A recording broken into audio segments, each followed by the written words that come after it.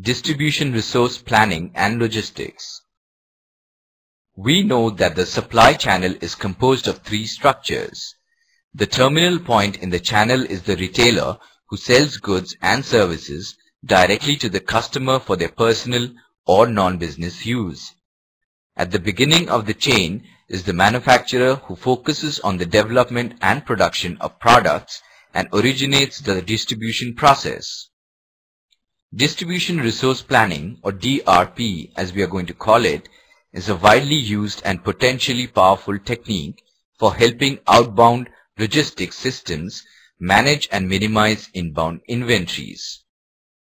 In this lesson, we will study about dynamics pertaining to distribution resource planning and logistics. It follows from the previous slide that after studying this lesson, you should be able to understand the meaning of distribution resource planning, the different inventory management techniques, management of order process, the logistics in 21st century.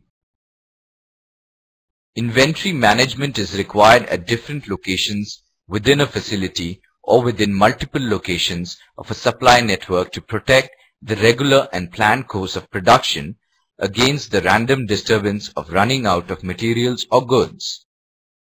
This makes its focus on the management of the level of inventory and minimization of the total cost of inventory after taking into consideration the stockout costs, the carrying cost, order cost, and the cost of acquisition inventory.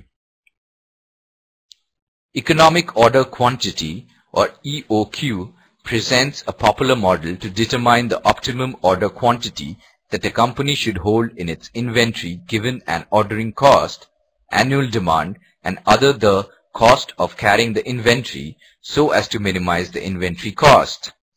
The formula to measure EOQ and the meanings of various notations used are shown on the screen. Analysts use two primary approaches to determine when the order should be placed. The first one is discussed on the left side of the screen and is fixed quantity replenishment system. Under this system, the order is placed when the inventory has fallen below a definite level. The quantity is to be ordered is predetermined and the reorder point is specified in such a way that demand can be met from the existing inventory during the replenishment period. Right side of the screen shows fixed period replenishment system, under which the order is placed on a predefined period. The replenishment quantity in such situations is often determined such as to replenish inventory to a given maximum level. Despite all the well-planned systems and management techniques, there are certain constraints to effective inventory planning. Actually, inventory planning requires accurate and coordinated forecasts for each distribution center as well as adequate lead time to allow product movement. The errors in forecast may exist because of prediction of demand at wrong location or prediction at wrong time. Apart from this, inventory planning also requires consistent and reliable performance cycles for movement between distribution facilities. Also production breakdowns or delivery delays sometimes affect the planning systems quite adversely.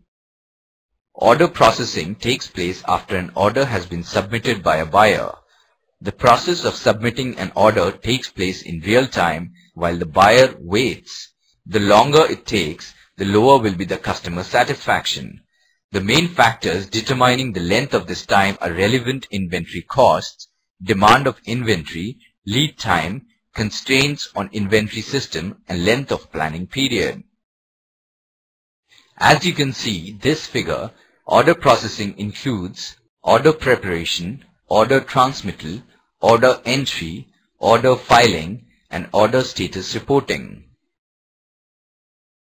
The order management system shows how the buyers and sellers communicate information relating to individual orders of product. Effective order management reflects the quality of the firm's overall management information system and vice versa. Thus the object of order management system is that desired customer service capability in terms of availability and operational performance should be such that the firm achieves target service goals every time. This would result in zero defect performance which is known as perfect order.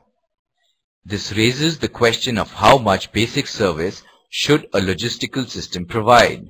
The answer may depend on the firm's overall marketing strategy and the relative emphasis it places on specific elements of the marketing mix. Needless to say, the common causes of failure of perfect order can thus be categorized as an order entry error, missing information, non-availability of ordered item, inability to meet shipment date, picking error, inaccurate documentation, late shipment, late or early arrival, damaged shipment, etc. You all must have heard about automated unit load handling using high-rise storage.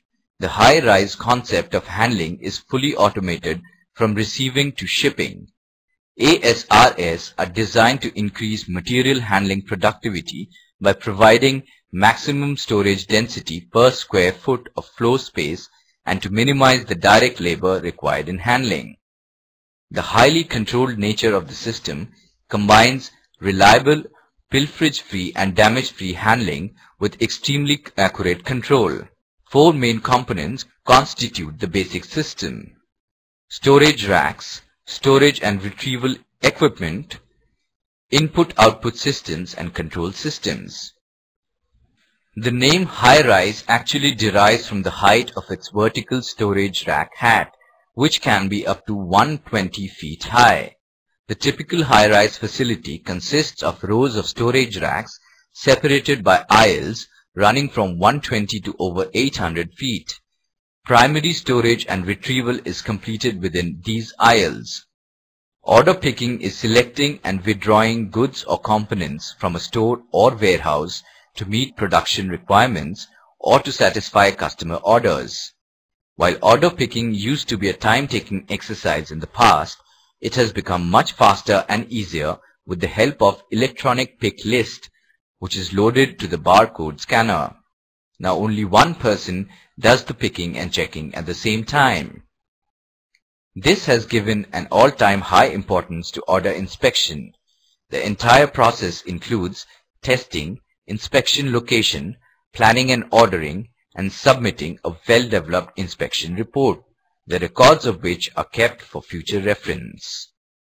21st century logistics truly involves the integration of information, transportation, inventory, warehousing, material handling, and packaging, and occasionally security.